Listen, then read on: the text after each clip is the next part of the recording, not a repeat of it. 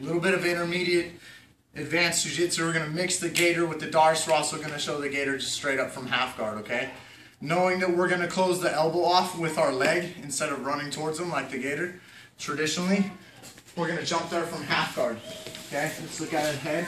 So maybe I'm in half guard and he's got his underhook and I've got my whizzer. A lot of guys like to play this game, but the, most of the guys that I see playing this game, they're kind of just sitting here bullying their opponent. They're not actually passing the guard. You can tell if they're truly knowledgeable about passing the guard and trying to slide through and that kind of stuff.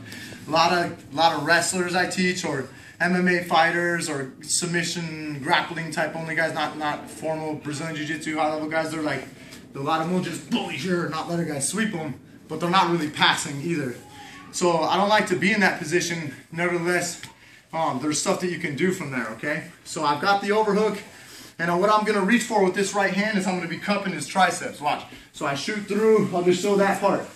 That's where I'm coming with my hand. Okay, I'm trying to get to that armpit. So I've got the arm in. I've got the head and arm now. And I'm going to pull my arm through. And I'm not even closing my hands. I'm switching because I can even switch, transfer to the regular gator, use my knee, close it off, and tap him. Okay?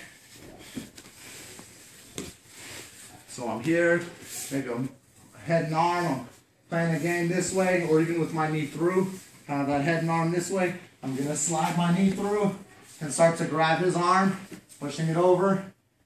Go for the traditional gator. You could run towards him and hook, or what I like to do is just, go with me Levi, is just push the tricep with your knee.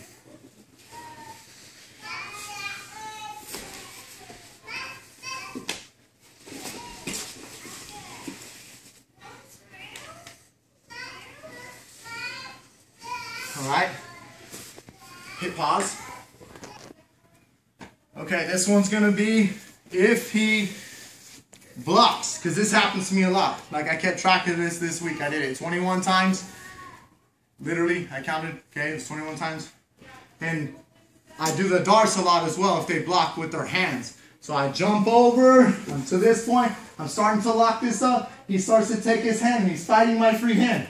He knows I have to close it off with this right? You turn towards him, right? He knows I'm trying to fight off. If he lets go, I'm closing the gator, right? So, so that he doesn't come up or start rotating or anything like that. You can counter grip him if you want, but I'm gonna put my shin across his his elbow like that, right? Then I'm gonna come up onto that onto that knee. Okay, so let's turn a little bit more. So now I still have his armpit gripped, and I, and I have his neck really deep. I'm gonna switch this arm all the way in and put it on top so that this arm can just rotate out right into the darce. Lean on him and keep his arm trapped, and you'll choke him. I'm in half guard. I've got a head and arm bully headlock here. I move out. I start to transfer. He starts to block. Put my leg over. Come on top. Grab my tricep so that I can just rotate into the darce and cause pressure. And show it from a slightly different angle a couple times. Here, headlock, I start to move, and I'm gonna start to go for this choke. He's blocking. I use my knee. I come on top, I grab my tricep, it rotates around, grab and bite into the back, lean forward, pause the choke. One more, this way, hit half guard.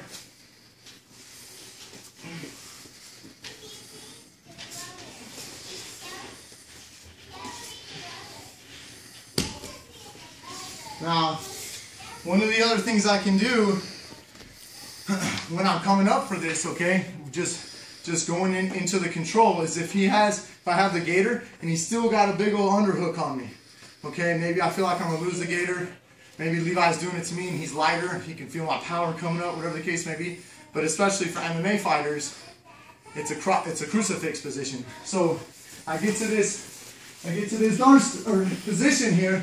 I start going here. He blocks, blocking the gator, and he's got this underhook still.